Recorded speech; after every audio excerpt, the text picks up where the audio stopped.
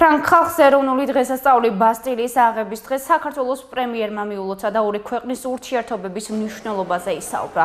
მანვე ხაზი გაუწვა საქართველოსა და საფრანგეთს შორის თანამშრომლობის პერსპექტივებს და ურთიერთობების გაღრმავების იმედი გამოთქვა. საფრანგეთის ეროვნული დღესასწაულისადმი მიძღვნილ საზეიმო მიღებას მთავრობისა და პარლამენტის წევრები და დიპლომატიური კორპუსის წარმომადგენლები დაესწრნენ.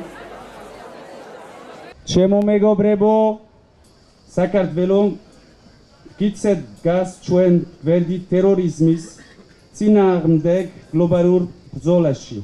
საფრანგეთი მას ამისადვის მადლობას უხდის. ჩვენ მადლიერი ვართ საფრანგეთის იმ ხარდაჭერისათვის, რომელსაც ის იჩენს ჩვენი სახელმწიფოებრივი დამოუკიდებლობის, ტერიტორიული მთლიანობისა და ჩვენი სუვერენიტეტის მიმართ. ჩვენს ქვეყნებს შორის თანამშრომლობა სულ უფრო ღრმავდება სხვადასხვა სფეროებში. ჩვენი ჯარისკაცები ფრანგი ჯარისკაცების გვერდით იცავენ საერთაშორისო უსაფრთხოებას აფრიკის კონტინენტზე.